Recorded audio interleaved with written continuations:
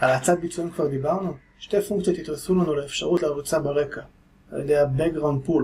ה-Read Audio, ה-Write Audio, כרגע יכולות לעבוד לנו במקביל על ידי הרצתם ב-Background Pool. אתם מוזמנים לעבור להרצאה של מורן והגר, שמדברות בעצם על האצת ביצועים. חידוש נוסף בנושא הזה של האצת ביצועים, זה בעצם שימוש במערכי GPU.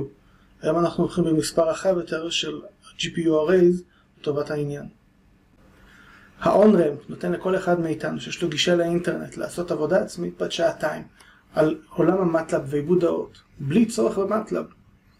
אנחנו נלמד על יצירת אותות, עיבוד, יבוא של סיגנלים כאלה ואחרים, נלמד על הסיגנל אנלייזר ועוד.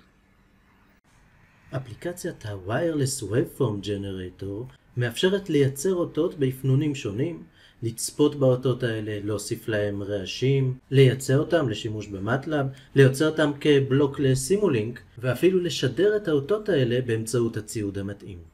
באפליקציה אנחנו יכולים לבחור את האפנון שאנחנו מעוניינים בו, במקרה הזה נבחר קוואם, נשנה ל-16 קוואם, אנחנו יכולים לשנות עוד מאפיינים של האות, להוסיף אימפרמנטס, במקרה הזה נוסיף רעש לבן ונוסיף איזשהו phase offset ועל ידי לחיצה על הכפתור generate נייצר את האות.